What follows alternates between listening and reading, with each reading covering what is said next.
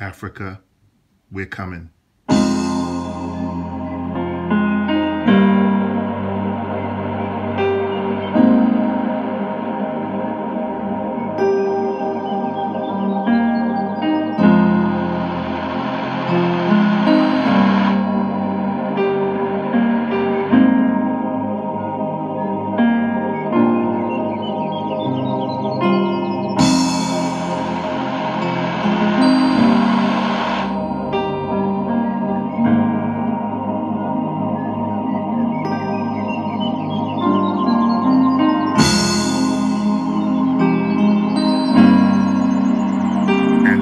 Gospel of the kingdom must be preached to